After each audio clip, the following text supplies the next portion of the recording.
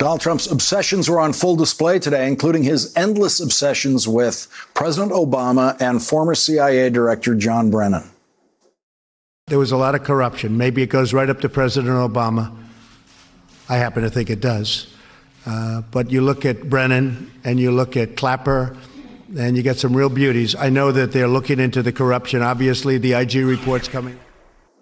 Joining us now is John Brennan, former director of the CIA. He's a senior national security and intelligence analyst for MSNBC and NBC News. And Director Brennan, I have a feeling that in Donald Trump's impeachment trial on the floor of the United States Senate, when he's allowed a final statement to the jury, that he's going to be talking about the corruption of Barack Obama and the corruption of John Brennan. He, he, he seems incapable of facing the corruption charges that are facing him. Uh, do you want to respond to what he said about you today?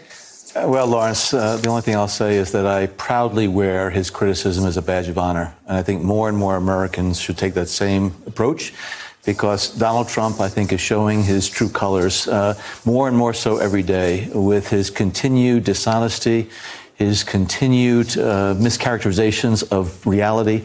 And so it, it bothers me not one whit what Donald Trump says about me. I was very proud to have served my country for 33 years for Republican and Democratic senator uh, presidents, um, and I have never seen anything that approaches the extent of incompetence, corruption, and dishonesty that I see coming out of the White House today. It's appalling, and quite frankly, it's a disgrace and an embarrassment. So uh, what he says does not bother me at all. You know, I would ask for a more uh, specific response, but there's nothing specific in the stuff that he spews, and, and, I'm almost embarrassed to, to bring it up to you. Could you please stay with us over this break? Because when we come back, I want to ask you about that statement Nancy Pelosi made today about all roads lead to Putin uh, with Donald Trump. We'll do that right after this break. And we're back with former CIA Director John Brennan. And as you heard Nancy Pelosi say today directly to the president that all roads lead to Putin with you, uh, saying that in the context of Donald Trump uh, this week basically handing over the Kurds to Vladimir Putin. Uh, what, what do you look at when you see those roads that Nancy Pelosi was talking about? Well, Lawrence, the uh, intelligence community's assessment that was done on Russian interference in our election, that was done in January of 2017, there's a reference in there to a Russian who was saying that the champagne corks were going to be popping in Moscow because Russia would be able to have its way in Ukraine and Syria with Donald Trump's election. Unfortunately, that was a very prescient comment.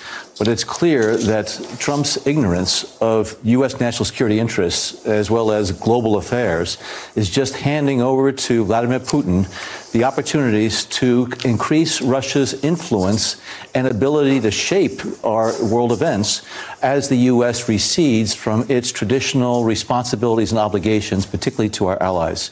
And the removal of U.S. troops uh, from that Syrian area with the Kurds is just the latest example of Donald Trump continuing to ignore what our responsibilities have been know, it's quite interesting that uh, Trump continues to tout what he has done for the U.S. military, but I think he wants a parade ground military as opposed, as opposed to a U.S. military to, that can help to stabilize some of these uh, areas that are racked by conflict and war.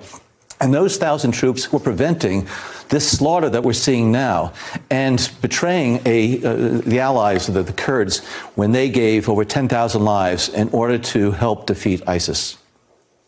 Uh, there are reports tonight that uh, the investigation of Rudy Giuliani is now a counterintelligence investigation or includes a counterintelligence investigation. What does that mean to you? It means that there is concern that either classified information has been shared with a foreign entity or that somebody is actively working, usually with a foreign party, to undermine U.S. national security interests.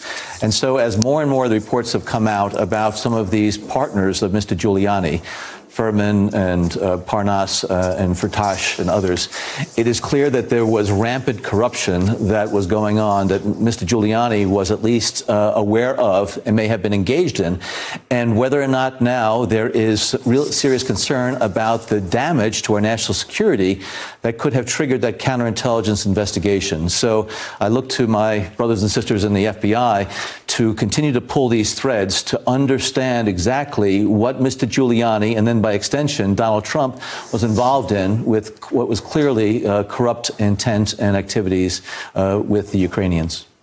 I want to get your reaction to what we're seeing now uh, in the State Department in particular. People who've put in decades of service in the State Department, as you put in decades of service in the government, coming forward to testify in these impeachment uh, depositions in the House, even though they're doing it against the, the, will of the Secretary of State and the Trump administration.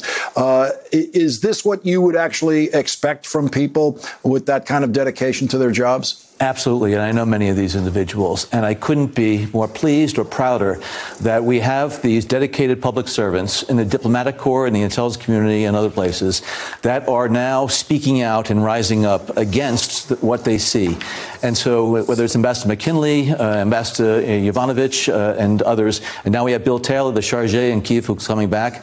I think this is what the House committees need in order to understand those activities that were taking place within the earshot of our diplomats. And uh, I'm glad that they are speaking out so forcefully against what has been going on. John Brennan, thank you very much for joining us. I know this is not the last time Donald Trump will attack you, so we'll always be here for, as your forum uh, to respond when you want to. Thank you very much for joining us tonight. Really appreciate it. Thanks, Lawrence. Thanks for checking out our YouTube channel. Subscribe by clicking on the button below for more from The Last Word and the rest of MSNBC.